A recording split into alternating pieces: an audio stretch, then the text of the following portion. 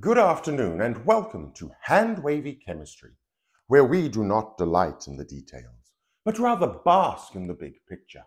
Today, it's problem time, where we answer chemistry related questions. The question for today is how do you write an electron configuration? We're going to start out with some simple examples and slowly get more and more complicated, ending with the type of questions that most commonly trip people up. There are three styles of question we're going to be looking at today. The first is the very straightforward and direct. What is the electron configuration of? The next is a little bit more complex and will involve some extra thinking. It's more along the style of a chlorine atom gains an electron. What is its new electron configuration? And the final type of question is going to be complete the following table with all the entries related to electron configuration. So let's jump into answering that first kind of question. What is the electron configuration of a particular atom? To do this successfully, we need to make friends with a periodic table. If we look at the full periodic table, we see that there are 118 different elements. It is not reasonable to expect someone to remember 118 different electron configurations. And considering that we can also have ions, there are even more possible electron configurations than these 118. So, I'm going to show you a modified version of the periodic table. The color coding on this version of the periodic table relates to the types of suborbitals. There are s suborbitals, p suborbitals, d suborbitals, and f suborbitals. If you'd like to know more about where these types of suborbitals come from, there is a video linked above and down in the description. So let's start with a very simple example of hydrogen. Hydrogen is the very first element. It's in the first row of the periodic table, so we're going to start by writing a 1. We've color-coded it red because those are s orbitals, so it's an s and it has just one electron, so it is a 1s 1. If we go to the next element, we have helium. We're still in the first row, so it's a 1. There's still red, so it's an S.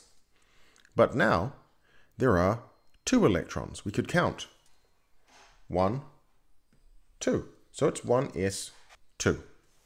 Let's jump ahead a few elements to boron. This is where boron is on the periodic table.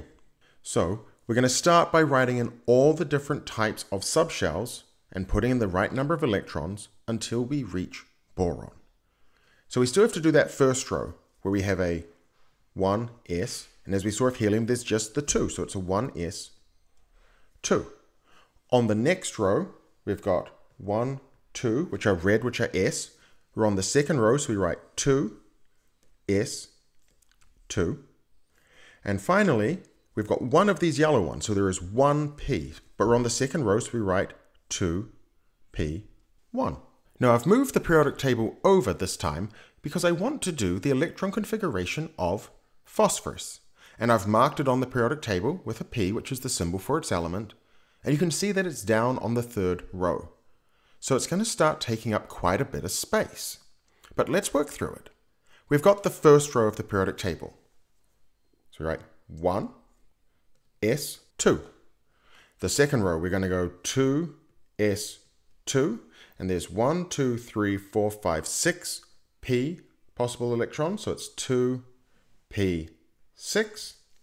On the third row, we still have 2, S options, so we go 3, S2, and then finally we're going to go 1, 2, 3, 3, P3. You can see from this that we very quickly start taking up a lot of space if we write out the entire electron configuration. So we actually have a shorthand way to do this. What we do is rather than writing out the rows above where we are, we instead write the noble gas, so the element at the end of the row before the one we're starting at. So in this case, this is the final element on the row before we started at, and that's neon, so we do in a square brackets, N, E. This means start with the electron configuration of neon, and from here we'd write our 3s2, 3p3. This gives us a much quicker way to write out electron configurations and a much less lengthy way to write out our electron configurations. Atoms are able to gain and lose electrons, becoming ions. And when they do so, their electron configuration changes. So let's look at the question that I asked before. A chlorine atom gains an electron. What is its new electron configuration? Well, chlorine sits here on the periodic table. When an atom gains electrons, we're going to have to move along to the right. When it loses electrons, we'd move along to the left. So it's gaining one electron.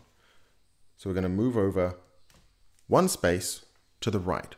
It's going to have the same electron configuration as argon. So let's write it out. We'll use our shorthand from before. We'll say, let's start with the electron configuration of neon.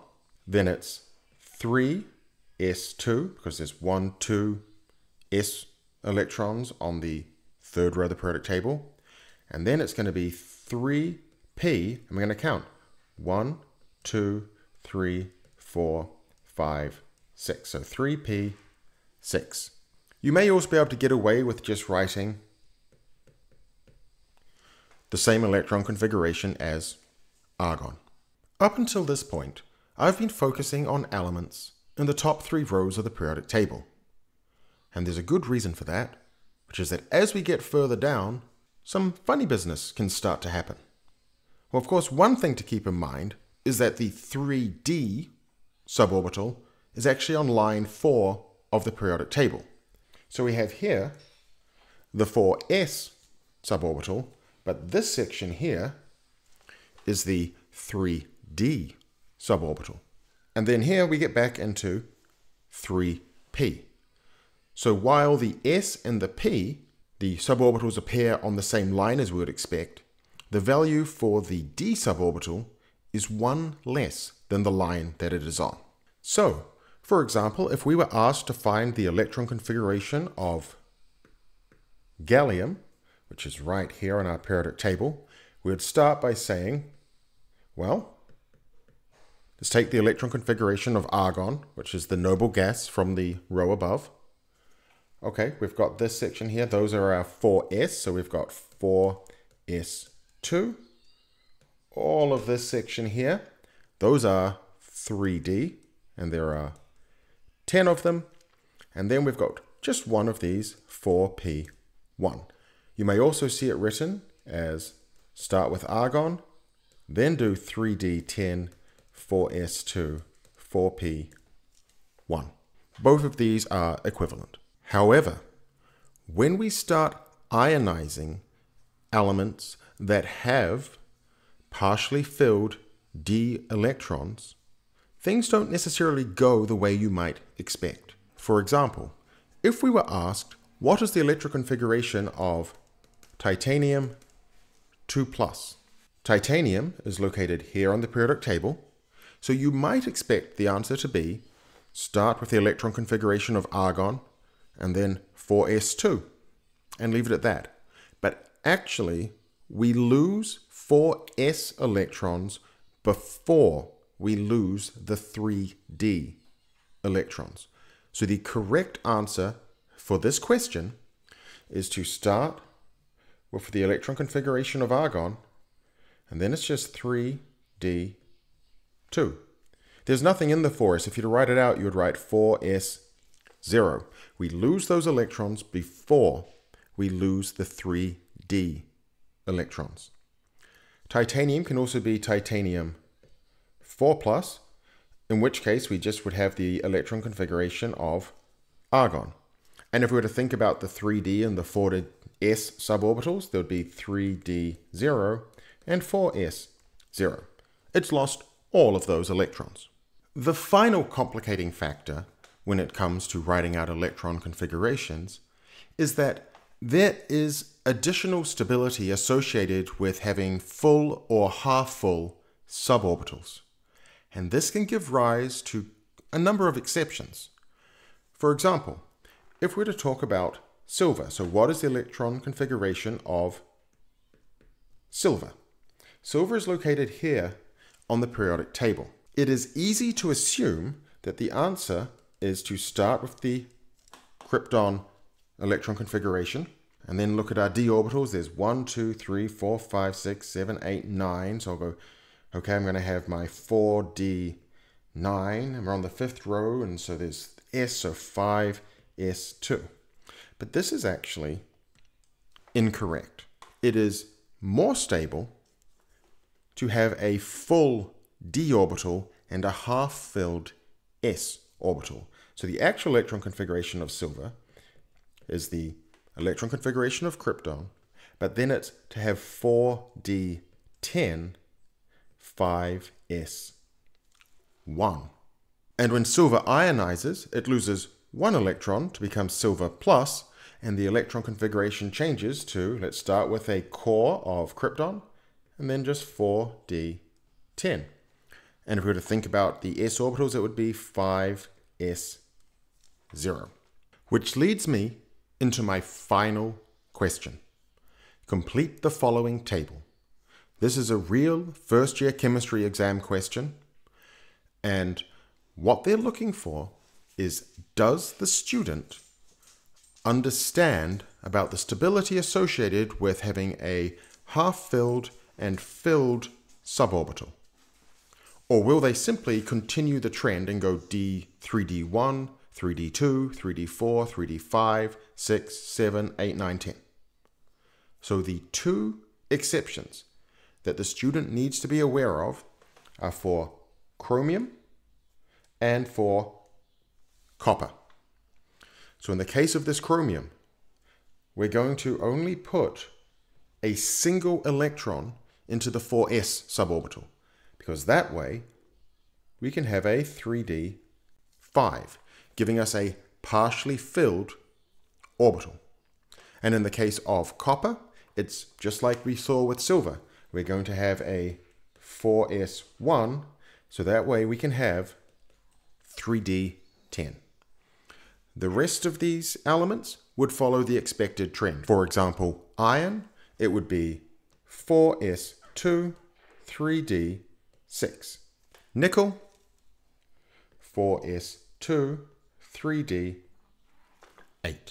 So my final advice to you, when you are confronted with a question which relates to what is the electron configuration of something, is to make sure that you understand how the periodic table is structured and that you are good friends with it. It's going to make your life so much easier when answering. Start by finding the appropriate element on the periodic table. If it's gained or lost electrons, move to the right or left as appropriate. Move to the right if it's gained electrons, move to the left if it's lost electrons. And then pay attention to if it is very close to having one of those full or half full d orbitals. Because if it does, then you should look into whether it makes sense to just put a single electron into the s orbital so that you can have a half full or full d suborbital. And keep in mind, again, one more complication. When transition metals, transition metals being elements that have a partially filled d orbital, lose electrons. They lose it from the s suborbital before they lose electrons from their d orbitals. I hope you have enjoyed this video, and if you have, please make sure to like and subscribe and share it with your friends. Also, if you have any questions you'd like to see answered in a future problem time, please put them in the comments below. Thank you, and I hope you have a wonderful rest of your day.